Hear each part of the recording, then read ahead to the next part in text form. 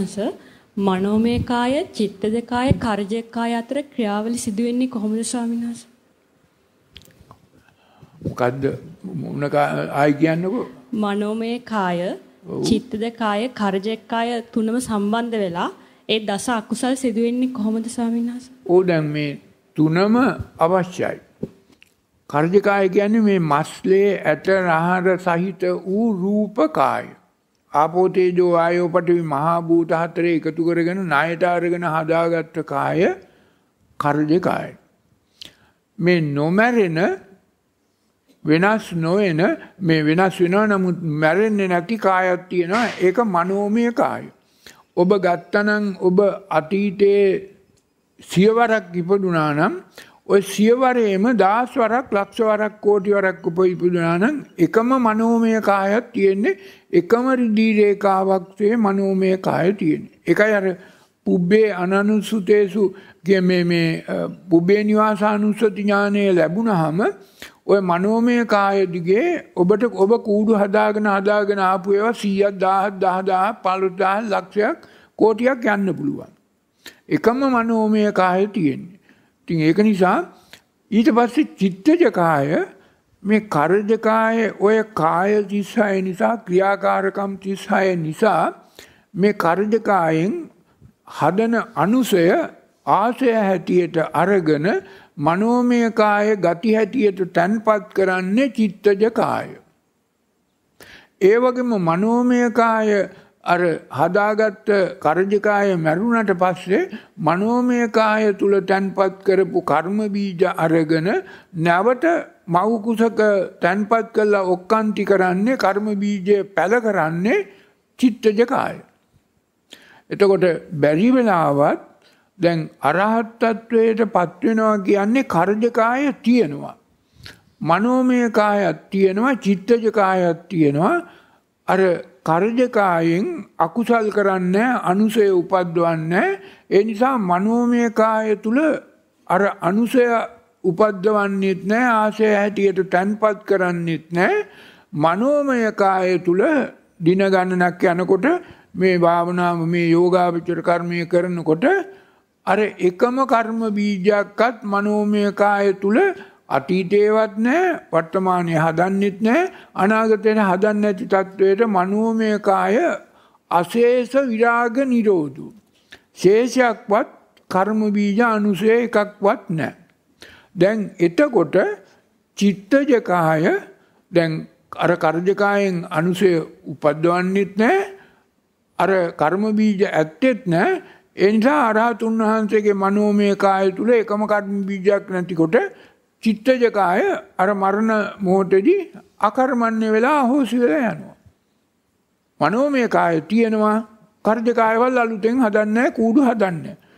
මේ කූඩු වලටයි මේ කියන ලාභ අලාභ යස ආයස නිന്ദා ප්‍රශංසා දුක හැප ඔය ඔක්කොම මොකකටද මේ ලැබෙන්නේ? කූඩුවට. මනෝමය කායට නෙමෙයි. ඊට පස්සේ අලුතෙන් කූඩුවක් හදන්නේ නැත්නම් ඔය අටලෝ දහමටම අයිති වෙන්නේ දුක්ඛක් විඳින්නෙත් නැහැ සැපක් විඳින්නෙත් නැහැ බලාපොරොත්තු වෙන්නෙත් නැහැ. මනෝමය කාය තියෙනවා. එනිසා අතීතයේ පිරිනිවන් පාවදාල අර සබ්බ උපදි සෞපදිශේෂ පරිනිබ්බාණයෙන් පිරිනිවන් පාවදාල සියලු අරහතුන් වහන්සේලාගේ පසේ බුදු පියාණන් වහන්සේලාගේ ලෞතර බුදු පියාණන් වහන්සේලාගේ මනෝමය කාය එක තැනකට මධ්‍ය මණ්ඩලයට කේන්ද්‍රගත වෙනවා. එතකොට මේ කෝටි ප්‍රකෝටි ගානක් අතීත අරහත් බුදු පියාණන් වහන්සේලාගේ ලෞතර බුදු පියාණන් වහන්සේලාගේ පසේ බුදු පියාණන් වහන්සේලාගේ මනෝමය කාය කාය යන් එක තැනකට කේන්ද්‍රගත වුණාට එක ඉන්දිකඩු මුණකවත් ඉඩක් අවශ්‍ය නැහැ මනෝමය කායන් කෝටි ප්‍රකෝටි කාර්යයක් හරි මේ කේන්ද්‍රගත වුණාම ඉඩක් අවසරයක් අවකාශයක් අවශ්‍ය නැහැ. මොකද ඒවා මනෝමය කායන්. මේ ඉඩ ඕන වෙන්නේ මේ කරජ කායන් පවත්වන්න. ඒක බෑ කෙලෙස් ඇත්තෙත් නැහැ අකුසල් ඇත්තෙත් නැහැ මොකවත් නැහැ හැබැයි ඒ මනෝමය කායන් සියලු මනෝමය කායන් බුද්ධත්වයට පත් වූ බව උදුරා දැමූ ඒ නිසා අනාගතයටත් යම් කිසි කෙනෙක් බුද්ධත්වයට පත් වෙන්න බව උදුරා දමන්නට කටයුතු කරනවා නම් ඒ සද්දස්සකුල පුත්‍රස්ස සියලුම් දෙනාට මේ බුද්ධ ශක්තියට අනුගත වෙන්න උපකාර වන ආකාරයට සියලු බුදුවරුන්ගේ මනෝමය කායන් ඒ තැනට මධ්‍ය මණ්ඩලයේ බෝධීන් වහන්සේ ගාව කේන්ද්‍රගත වෙලා තියෙනවා. ඒක බුද්ධ ශක්තියක් හැටියට ලෝකයට තියෙනවා. අවසරයි අරහතුන් වහන්ස. ආන්න හරි. මම මේ කතාවක් ඇහුවා මේ කාශ්‍යප බුදුන්ගේ කාලේ දාරුචීරි ඒ කියන්නේ කට්ටියක් ඔක්කොමලා එකතු වෙලා මේ අරහත් වෙන්න ඕනි කියලා මේ ලොකු ගල් කන්දකට ගිහිල්ලා පෙරුම් භාවනා කරලු. ඊට පස්සේ ගෞතම බුදුන්ගේ කාලේ තමයි ඒ දාරුචීරි අරහතුන් වහන්සේ මේ අරහත් ත්වයටපත් උනේ.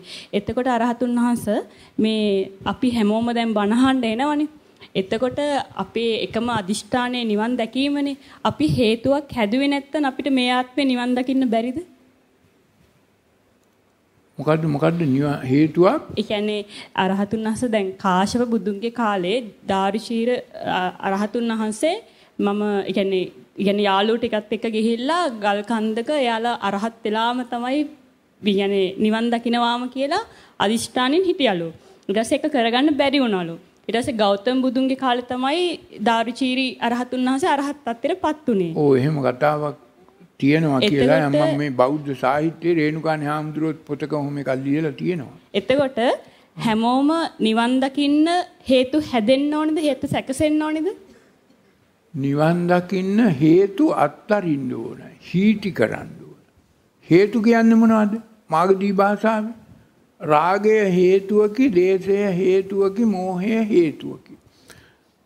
රාගය අත්තරියාම විඤ්ඤෝ හීටි වෙනවා. ද්වේෂය අතහැරියාම විඤ්ඤෝ හීටි වෙනවා. මෝහය අතහැරියාම විඤ්ඤෝ හීටි වෙනවා. හීටි නම් තව ශේෂයක්වත් ආයේ උපදින්නේ නැහැ. එතකොට මේ ඔබ සියලු දෙනා අසුතවත් පෘථග්ජන පුද්ගලයන් හැටියට ධර්මයේ නොදන්නා හැටියට ධර්මයේ තේරුම් නොගත්ත පුද්ගලයෝ හේතු හද හදා ඵල උරුම කරගෙන කර්මයේ උරුකම කරගෙන ගමන යනවා. මේ ගමන හදන්නේ විශ්වකර්මයෙක්වත් සර්ව බලධාරී කෙනෙක්වත් අම්මා තාත්තවත් කවුරුවත් නෙමෙයි. කවුද මේ ගමන හදන්නේ? නිර්මාණය කරන්නේ නිර්මාණකරුවා කවුද? තමන්මයි. තමන්මයි හේතු කරන්නේ. තමන්ටමයි තමන්මයි වපුරන්නේ. තමන්මයි අස්වැන්න නෙලාගන්නේ ඵල භුක්ති විඳින්නේ. මේකේ දෙපැත්තක් තියෙනවා සුදු කර්ම කළු කර්ම සුඛ කම්ම කන්න කම්ම. මේ දෙකම අවසන් කරනකොට සුක්ඛ කම්ම සුක්ඛ කම්ම නිසා සුක්ඛ විපාක ලැබෙනවා කන්න කම්ම නිසා කලු කර්ම නිසා කලු විපාක ලැබෙනවා නමුත් සුදු විපාක හෝ කලු විපාක හෝ සුදු කර්ම හෝ කලු කර්ම හෝ ශේෂක්වත් තියෙනවා නම් නැවත උපදිනවා. හේතු අත්හැරියොත් අකුසලයේ අත්හැරියොත් කුසලයේ වඩා වර්ධනය වුණොත් හේතු අත්හරිනවා ඒ අනුව කම්මක්කය වෙනවා කම්මාන්ත වෙනවා සුක්ඛ කම්ම කම්ම කන්න කම්ම දෙකම අන්ත කරනම අවසන් කරනවා. කම්මක්කයෝ නිබ්බාණං. කම්මාන්ත නිබ්බාණං. අවසන් කරන්න කම්මාන්ත. යන්නේ අරහතුන් වහන්සේ අපිට සතර කමඨහන් වැඩිමෙන් තමයි සතර කමඨහන් ආනපාන සති සමාධිය හැටියට සතර කමඨහන් කායගත සතිය වැඩිම කිව්වත් එකයි සතර කමඨහන් වැඩිම කිව්වත් එකයි චතුරාර්යකා වැඩිම කිව්වත් එකයි ධම්මානුධම්ම පටිපදාවේ හැසිරීම කිව්වත් එකයි සමුදය නිරෝධ කිරීම කිව්වත් එකයි.